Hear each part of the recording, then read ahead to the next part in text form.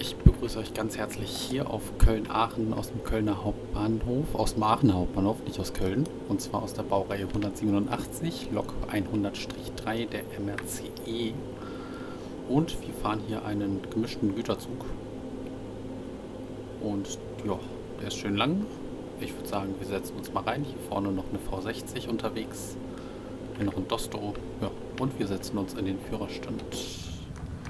So, im Führerstand angekommen, stehen wir einmal auf und aktivieren erstmal den Führerstand. So, Licht auf Autokonfiguration, dann einmal hier die Türen auf. Dann machen wir einmal die PZB an, die LZB an, ETCS können wir nicht bedienen, die SIFA lassen wir auf aus. So. Dann nochmal hier zu dem Schrank nach hinten gedreht. Das passt dann soweit alles. Federspeicher ist schon gelöst. Batterie ist an. Sehr schön. Dann setzen wir uns einmal. Wir haben schon Ausfahrt mit 40. Ähm gehen wir einmal ganz kurz hier in die Einstellung und kontrollieren mal den Stromabnehmer. Der hintere oben. Das ist, glaube ich, bei den Güterwagen in Ordnung. Untere Zugart ist, denke ich, dann auch in Ordnung.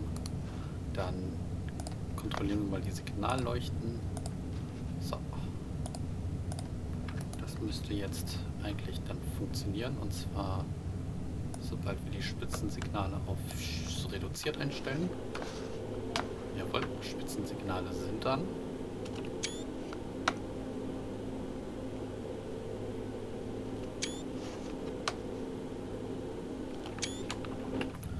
So, dann einmal Fahrtrichtungsfelder nach vorne. AFP lasse ich jetzt erstmal aus. Direkte Bremse ist gelöst. Scheinen wir schon, sowas brauchen wir nicht. Dann sind wir soweit abfahrbereit. Dann lösen wir die Zugbremse und können Leistung aufschalten, während uns da die LTE 187 entgegenkommt.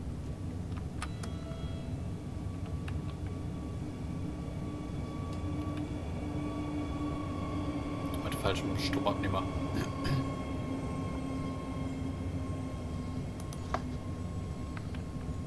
Zugbeeinflussung.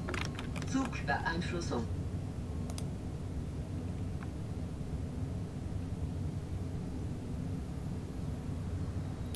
Rechts noch eine 187 und eine 185.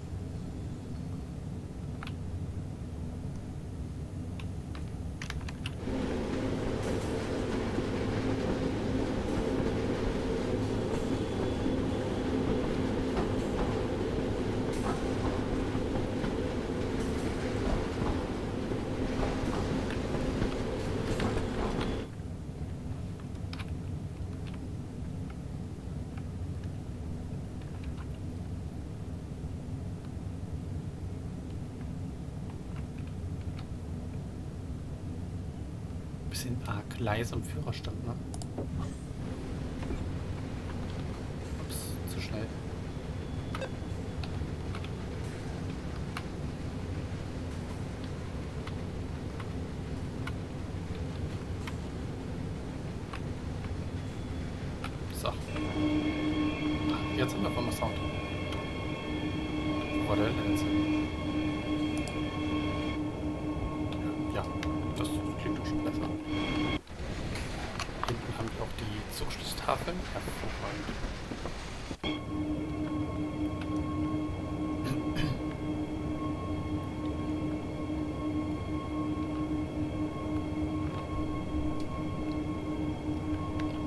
Dürften wir, genau, jetzt dürfen wir auf die 100 hoch. Das ist auch unsere VMAX heute.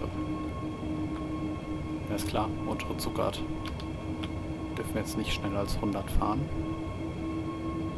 Soundmod ist am Start. Das ist nicht der originale Sound, sondern das Soundmod.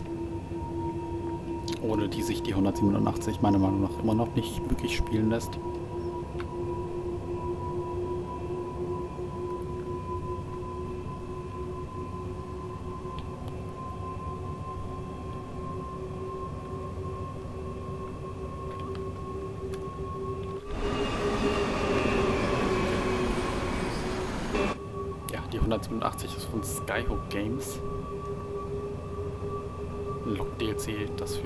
Köln-Aachen ursprünglich erschienen ist.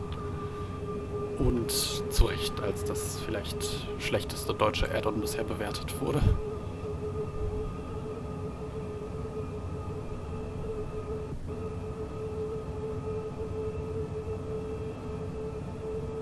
So, 100 sind fast erreicht.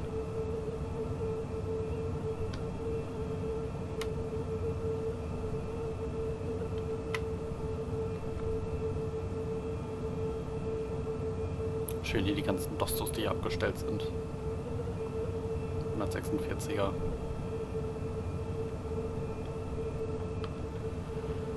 So, dann hätte ich gerne die AFB, ehrlich gesagt. Finde ich denn die AFB? Was bist du? Notbremsventil? Nee.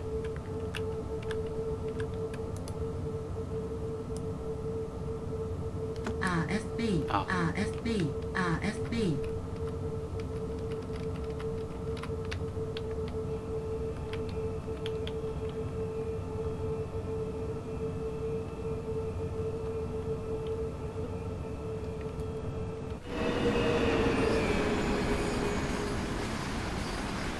Möglichen Wagen, die wir hier dran haben.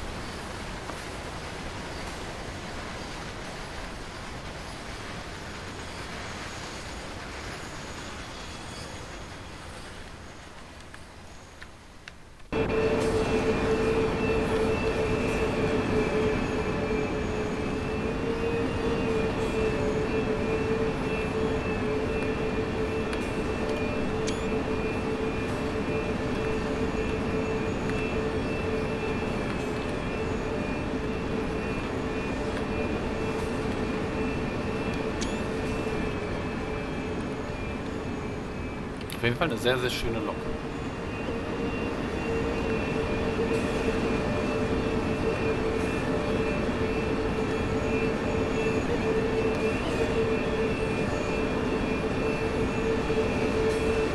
Da sind noch hier ein paar Heißluftballonfahrer unterwegs.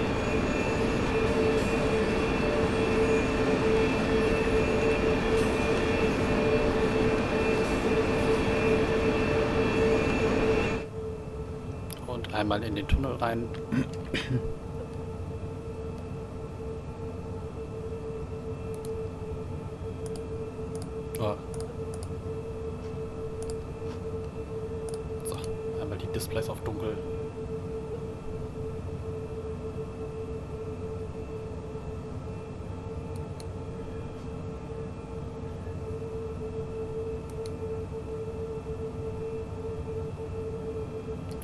Displays auch schon wieder auf Feld stellen, weil das sind auch die einzigen Tunnel hier auf der Fahrt. Das Display ist egal, das können wir ignorieren.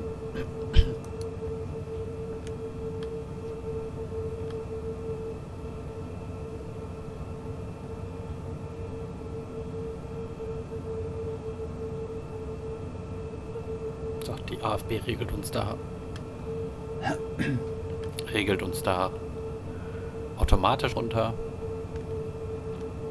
Sobald wir die 100 erreicht haben, wird der E-Bremskraft aufgeschaltet.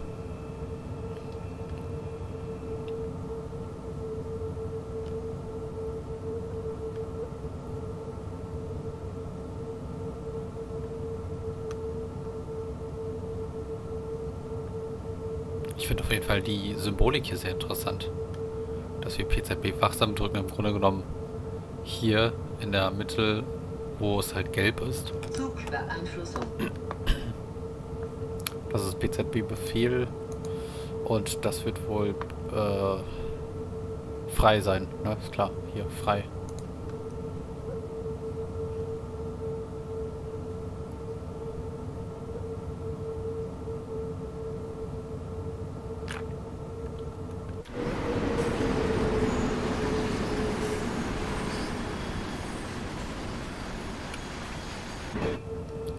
Aachen mit der TSW 4 Beleuchtung, äh, TSW 3 Beleuchtung wirklich echt schön. Das gibt der Strecke doch nochmal was komplett anderes.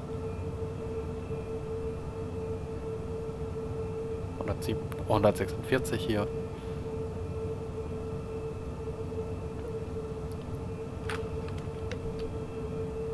Das ist eine Einschränkung auf 110. Die interessiert uns jetzt hier nicht. Was hier auf jeden Fall fehlt, sind ganz viele Güterwagen, die hier abgestellt sind. Das fehlt hier auf jeden Fall.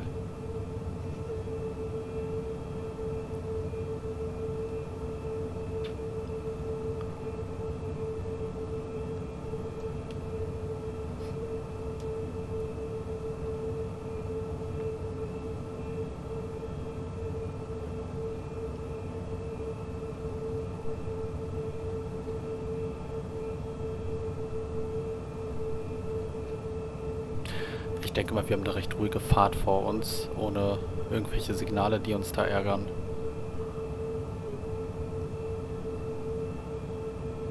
Und auch sonst mit kaum irgendwelchen Geschwindigkeitseinschränkungen. Ich frage mich nur, wir haben noch eine LZB hier. Ob wir auch gleich in die LZB aufgenommen werden, das, das, das wäre mal interessant. Habe ich, glaube ich, noch nie mit der 187 gemacht. Das wäre unsere, unsere erste LZB-Fahrt mit der 187. Musste man ja vorher immer vermeiden, weil äh, bei der Release-Version der 187 äh, war ja die LZB komplett verbuggt.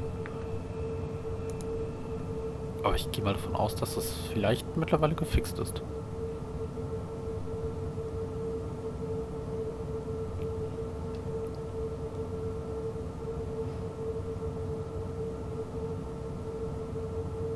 Nochmal ein kleiner Tunnel.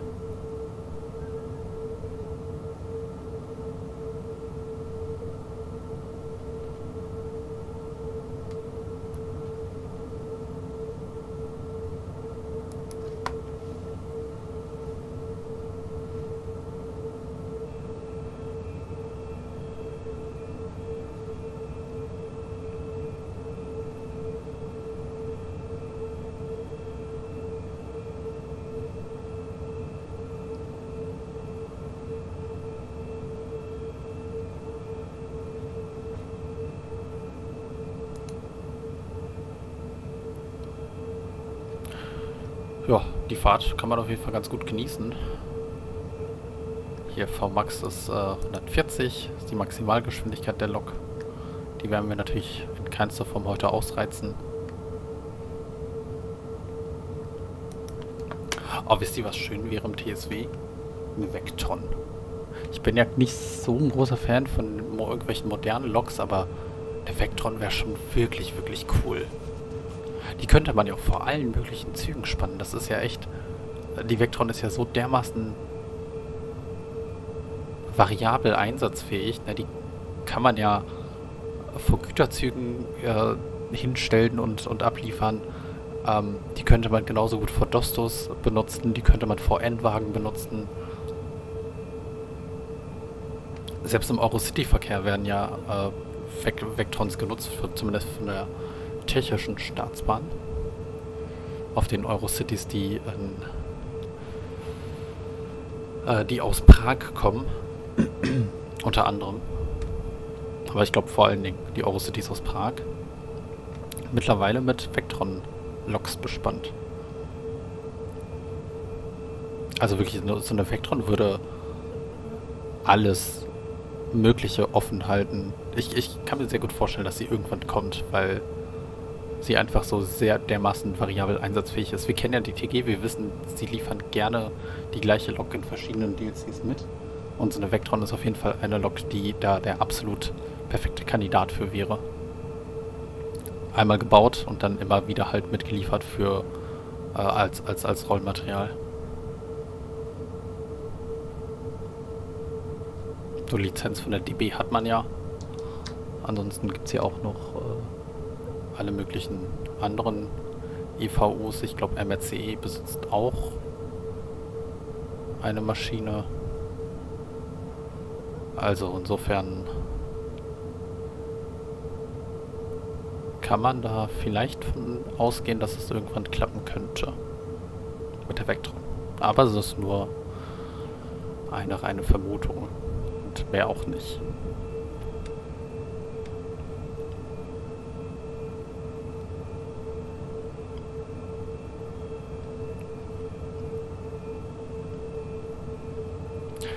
Dynamische Wetter ist auch an. Es kann also gut sein, dass es noch ein bisschen bewölkter wird, dass es noch später anfängt zu regnen. Müssen wir mal schauen, ne?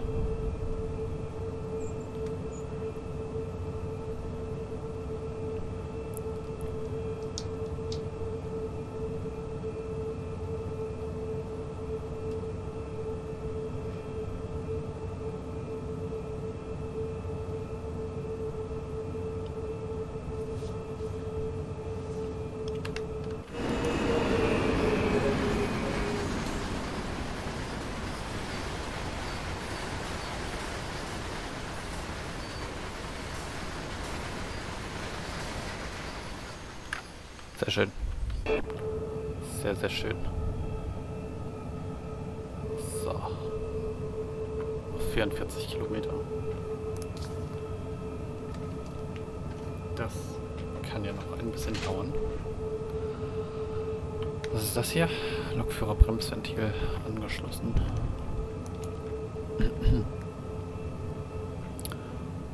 Okay. Was, was mir auch sehr an der Vectron gefällt, an der Vectron sage ich ja schon, hier an der ähm, 187, an der Trax 3 sehr gefällt, ist, dass hier, wir stehen auch mal ganz kurz auf, dass hier der äh, Maschinenraum ausmodelliert ist. Natürlich sollte man hier nicht rein während der Fahrt. Äh, das ist höchst gefährlich. Und woher das Licht hier reinkommt, weiß ich auch nicht, aber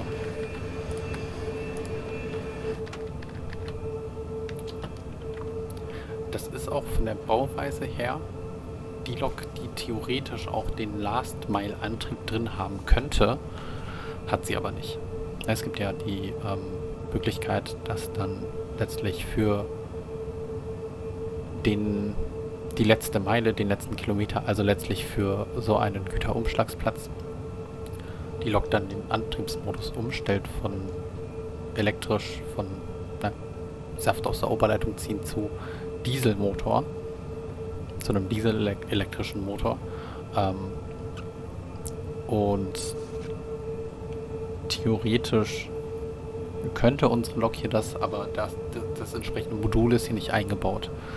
Heißt also, leider haben wir nicht den Last-Mile-Antrieb. Ehrlicherweise glaube ich aber auch nicht, dass äh, Skyhook Games das wirklich hätte umsetzen können.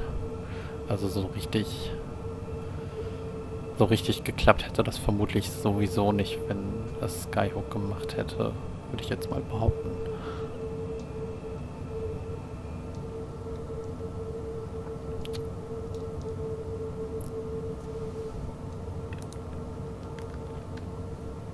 Aber was mir ganz gut gefällt, sind so die einzelnen Details, dass man hier zum Beispiel dieses Menü noch reingehen kann, hier die Signalleuchten umstellen kann, die Bremsstellung, den Stromabnehmer kann man umstellen, den PCB-Modus.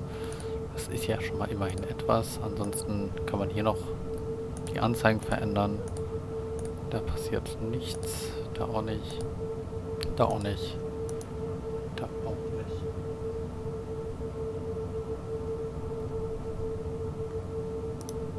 Und hier kann man das Display auch entsprechend umstellen. Ich glaube allerdings sowas wie ähm, Netzspannung und sowas umstellen auf irgendein anderes Netz lässt sich, glaube ich, hier nicht machen. Ich weiß auch gar nicht ehrlich gesagt, ob wir einen Stromabnehmer haben mit so einem Schleifstück, der für irgendein anderes Netz ausgelegt ist. Ich glaube nämlich ehrlich gesagt nicht.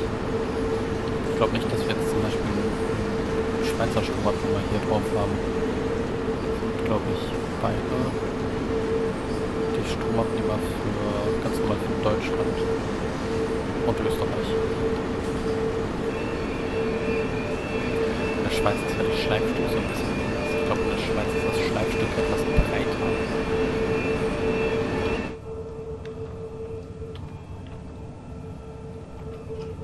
Aber das haben wir halt hier nicht umgesetzt. Ich weiß auch ehrlich gesagt gar nicht, ob die 187 in der Schweiz fährt in Realität. Ich weiß gar nicht, ob es so eine Art Multimodal 187 gibt, die in der Schweiz theoretisch fahren könnte. Bestimmt gibt es das, aber ist, ist mir bisher nicht so bekannt. Die einzige Lok, die das theoretisch hinbekommen könnte, im TSW ist die 105, die MRCE 185, die, die mit Dresden-Riesa mitgeliefert wurde. Das ist nämlich die Variante, die tatsächlich vier Stromabnehmer hat. Unter anderem einen Stromabnehmer für die Schweiz. Und den kann man auch tatsächlich heben. Man kann, zwar auch nicht das Stromsystem ändern, aber man kann den entsprechenden Stromabnehmer heben. Das ist ja schon mal etwas. Aber uns fehlt natürlich auch das Schweizer äh, Zug Zugsicherungssystem. Ist dort ein See? Ah, das ist tatsächlich ein See. Oh, ich kann leider nicht hören. Schön, ist mir nie aufgefallen, dass hier ein See ist. Was haben wir hier? Ah, ja, weil ich immer hier auf die Sportplätze ge ge geguckt habe.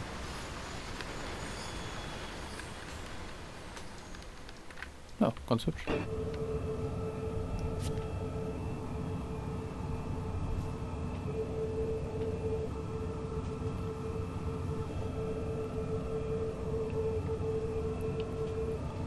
Das Signal ist weiterhin grün.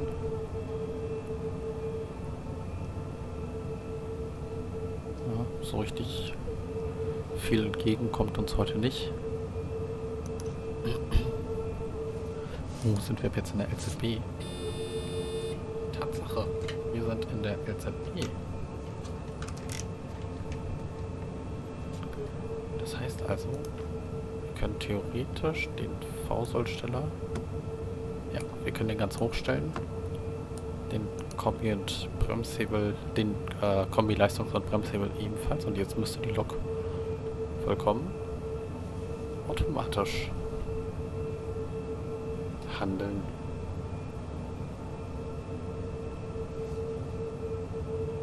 Hier einer der Landmarks dieser Strecke, diese Brücke hier vorne.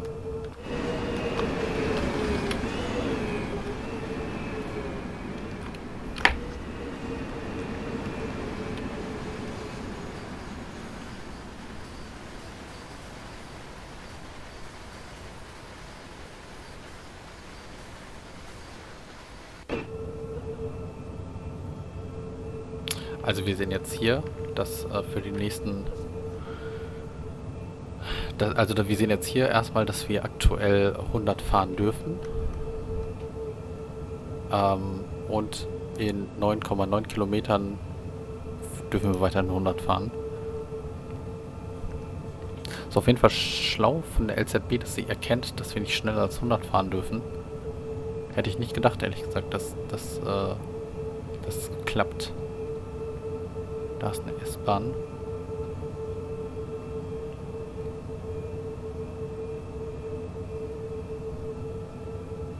Das müsste, glaube ich, Düren sein.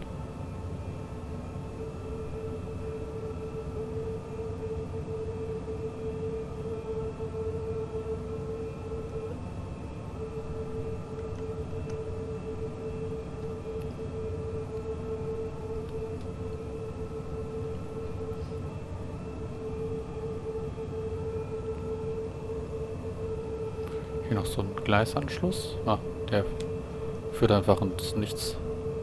Hier aber noch ein Gleisanschluss. Und führt der dann? Ah, der ist tatsächlich, der fährt, der führt irgendwo hin. Das ist wohl eine kleine Nebenbahn, die hier abgeht. Ja, hier werden die Gleise dann etwas, sagen wir mal, unschön gebaut.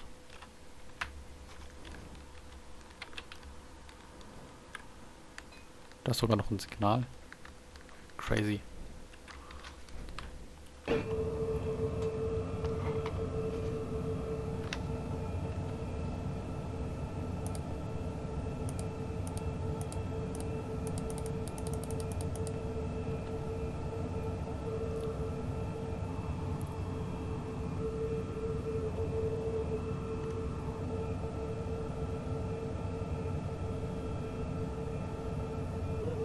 Das ist, glaube ich, so eine Flankenschutzweiche, ne? Nennt man das, glaube ich. Diese Form der Weichen, dass man für den Fall, dass man das Signal überfährt, äh, dass man dann auf den Prellbock zufährt und nicht auf die, äh, auf die Gleise, während uns ein Talent zu hoch vorbei entgegenkommt.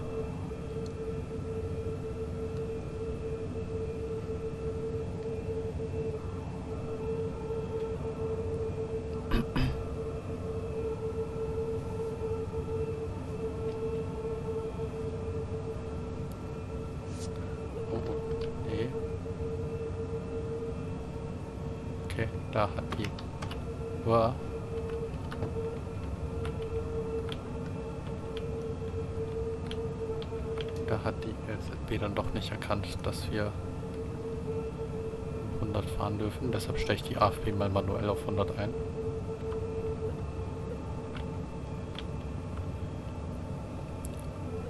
Bevor wir jetzt äh, zu schnell fahren.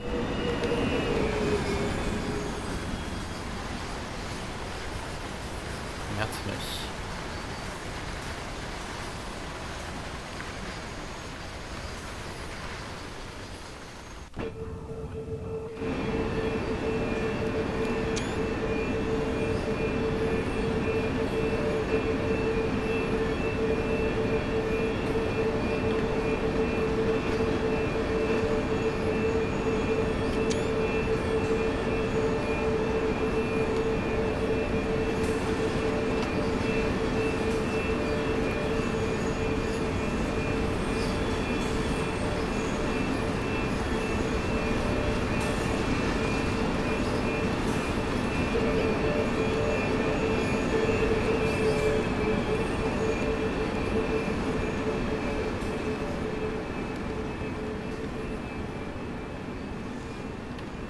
Oh, also ein allzu langer Zug ist es tatsächlich nicht, warum wir in der Unterzugfahrt fahren müssen. Ja, vielleicht ist er schwer beladen, ich weiß es nicht.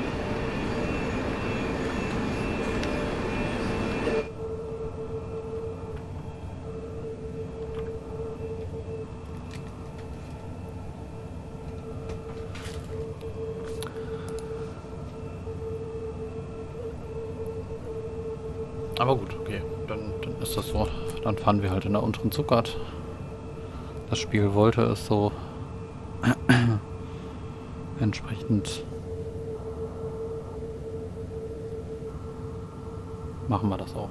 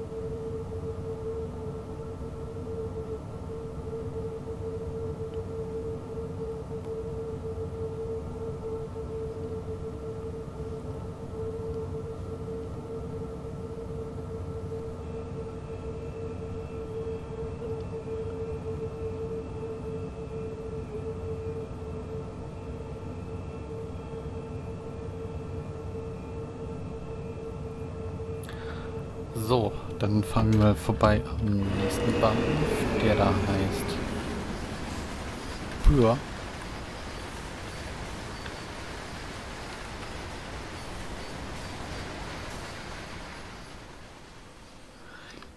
Hier mit irgendwelchen Industrien.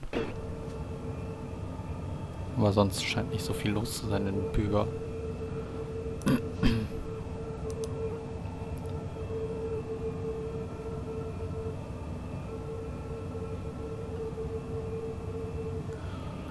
Das wird wohl eine Autobahn sein, hier links. Auf der ist aber auch nicht so viel los.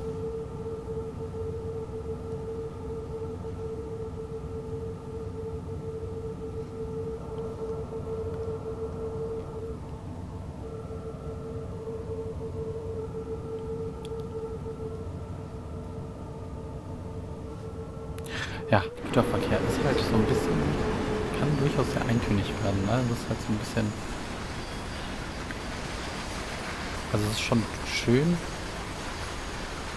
aber andererseits macht man, man, man, man fährt halt irgendwie seine 100 km/h, fährt, fährt, fährt, wird zur Seite genommen, fährt, fährt, fährt. Also weiß ich nicht.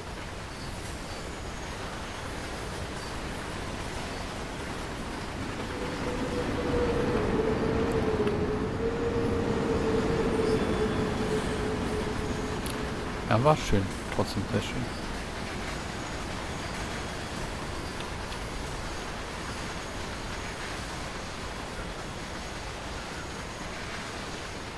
Kleiner Kernel Cam. Falls es jemand kennt, die Kernel Cam.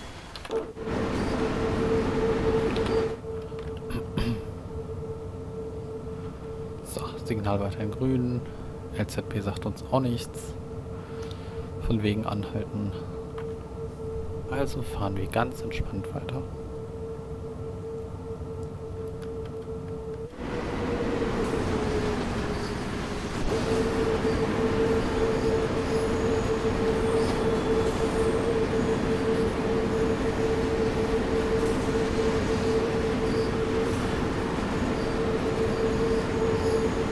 Schön auf jeden Fall, dass der Stimmbaugeber auch äh, umschlägt. Wusste ich gar nicht, dass das bei der noch auch der Fall ist.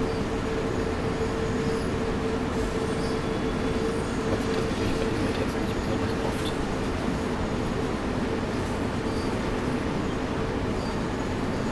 Wenn es schneien würde, wäre das jetzt anders. Oh gut. Wenn das ist, äh, da ist, das Feature.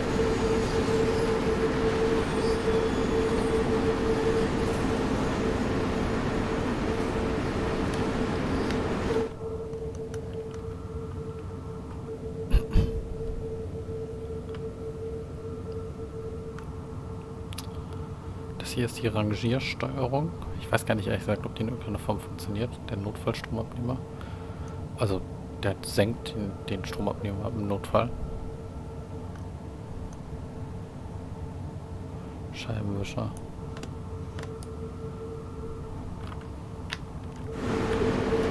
Ansonsten ja, können wir hier noch die Signalleuchten einstellen. Ähm, hier können wir eine Doppeltraktion theoretisch einstellen, aber das ist nicht verbaut. Was das ist, weiß ich nicht. Die Motorraumbeleuchtung. Das Notbremsventil. Ja. That's it. Das ist die, ähm, ähm, die, ähm, Bahnlinie ist der falsche Begriff. Ähm,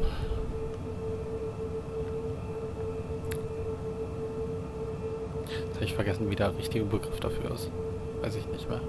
So, Hauptschalter, Stromabnehmer, LZB P und PZB-Einrichtung.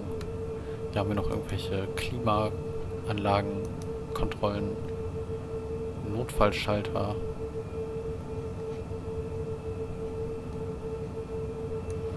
Feuerlöscher.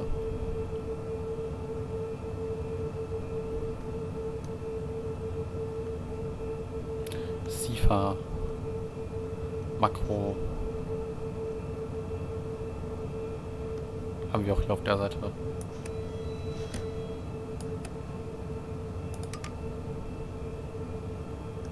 Was das?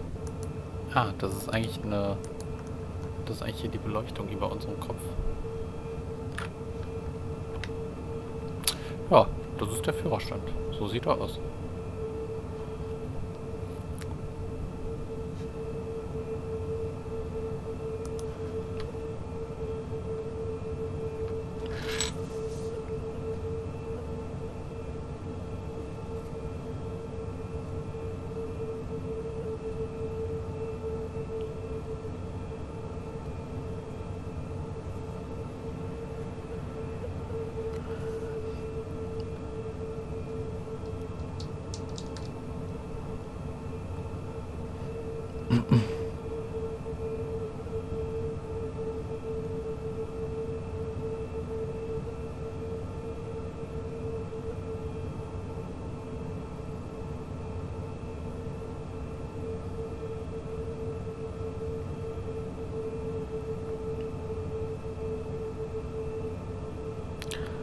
Oh, ich sehe, da kommt uns was entgegen.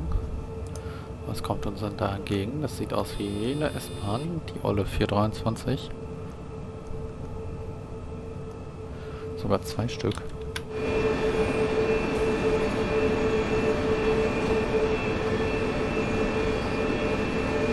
Der steht hier im Umstellgleis. Macht wohl gerade Pause, hat hier den Dienst beendet und hier vorne, der steht schon im Bahnhof bereit. Bahnhof vorne. Also hier.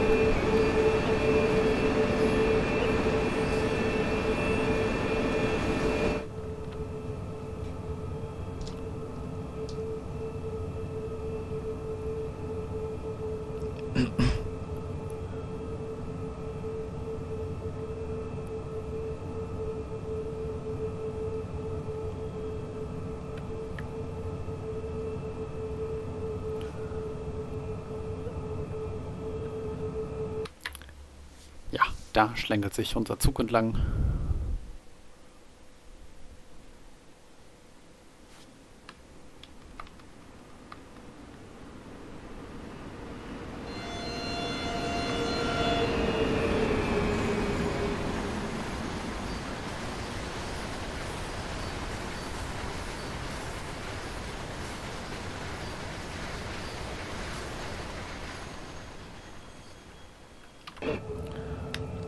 Und dann haben wir nur noch 12 Kilometer.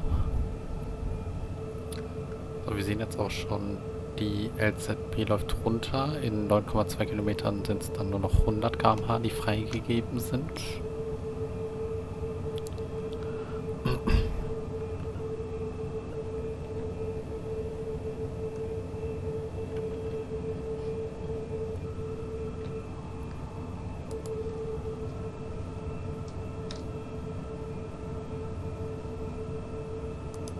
Da kommt eine Geschwindigkeitseinschränkung auf 120, allerdings nicht für unser Gleis, sondern für das S-Bahn-Gleis hier neben.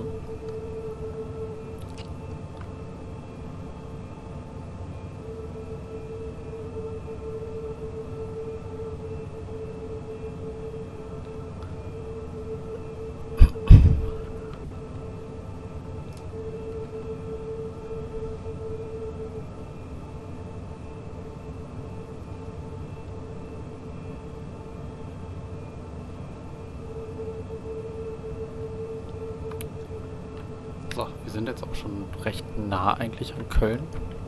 Sind im Grunde genommen jetzt schon so im äußeren Bereich der Stadt.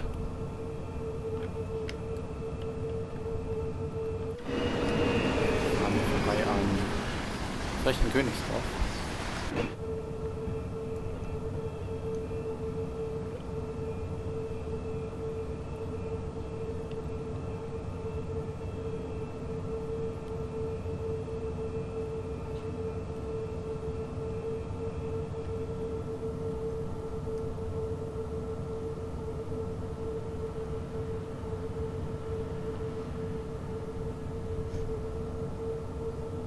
meine, die LZB endet wirklich ganz kurz vor Köln Hauptbahnhof.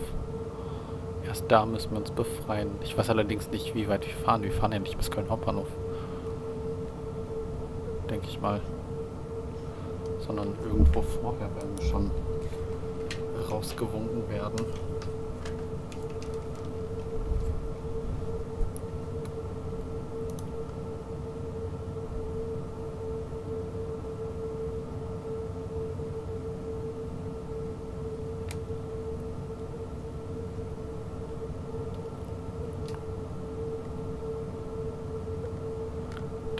Eine S-Bahn.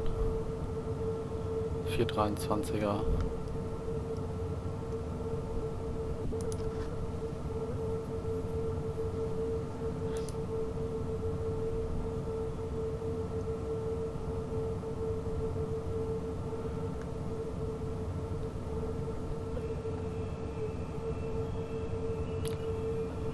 Macht gerade die Türen zu. Und fährt jetzt ab. Wir haben jetzt gleich nur noch unter 4 Kilometer. Mal gucken, ob dann hier so ein Balken erscheint. Müsste eigentlich. Ja. Nee. Schade. Schade. Hätte man erwarten können, dass hier jetzt so ein Balken auftaucht. Müsste auch eigentlich. Aber gut, wie gesagt, es ist halt echt nicht das beste DLC auf der Welt. Ich würde es mir ehrlich gesagt auch nur wirklich kaufen, wenn es im Sale ist. Und dann auch nur am PC, wenn man die Möglichkeit hat, die Soundmod zu installieren. Weil ansonsten ist es einfach... Ist, ist es wirklich eine Geldverschwendung. Außer man möchte, dass die 187 irgendwie als KI-Verkehr irgendwo rumfährt, dann, dann lohnt es sich vielleicht schon noch. Aber ansonsten... Da sind halt einfach, man merkt, es ist Skyhooks allererstes deutsches DLC und bislang auch übrigens einziges deutsches DLC. Danach haben die sich ja nie wieder mehr an irgendwas Deutsches rangewagt. Ist auch vielleicht besser so. Aber wer weiß, vielleicht haben sie sich auch entwickelt. Äh, vielleicht ist es ja auch mittlerweile nicht mehr ganz so schlimm. Zugbeeinflussung. So. LZB Ende quittiert. Das heißt, wir fliegen also gleich raus aus der LZB in, ja, vermutlich einem Kilometer oder so.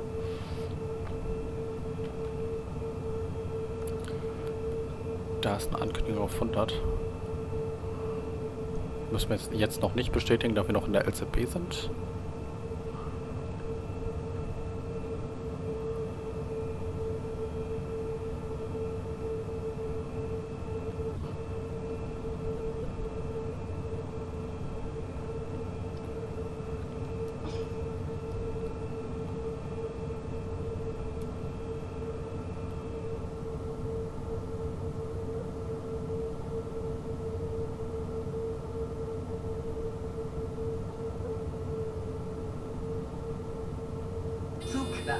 So, und jetzt sind wir in der LZB, äh, in der P äh, sind wir jetzt wieder PZB geführt. Wir müssen, glaube ich, einmal den auf Null stellen.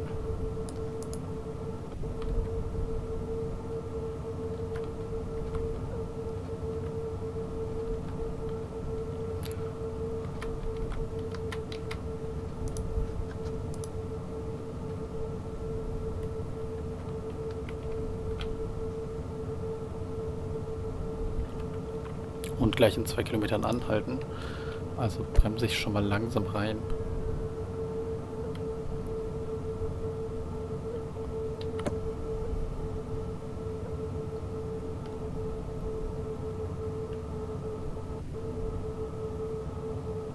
So, was steht hier links? Ah, 187 und 185.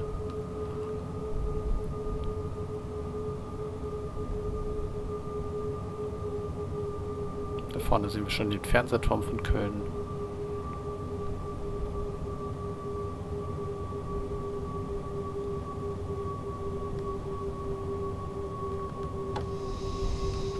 So, ich löse nochmal kurz die Bremse aus. Und das sieht aber dann sowieso jetzt aus wie halt zu erwarten. Das wird jetzt natürlich bestätigt. Zugbeeinflussung. Jawohl. Schnell runter auf unter 55. Dem ist jetzt Folge geleistet worden. Lösen wir nochmal aus.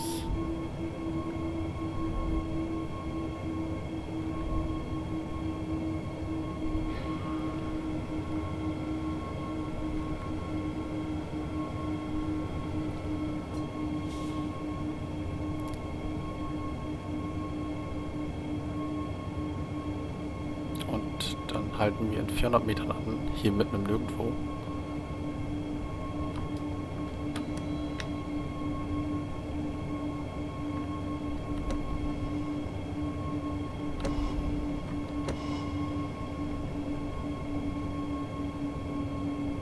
So, 500 Herzmagnet. Türfreigabe. Nee, Türfreigabe. Türfreigabe.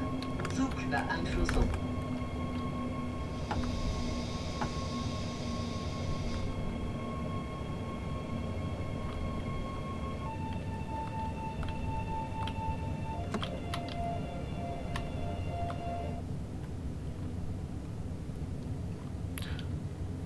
Zu früh gehalten.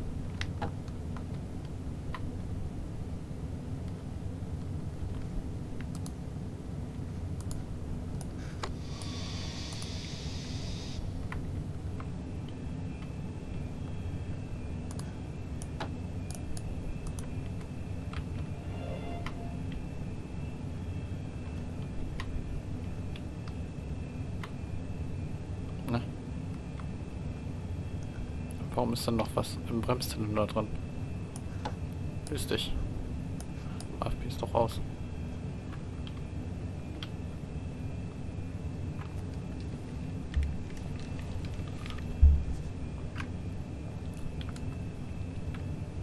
Naja.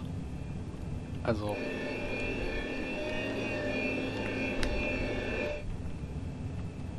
Ich würde sagen, die, Rest, die letzten paar Meter, die mache ich jetzt hier noch alleine. Und dann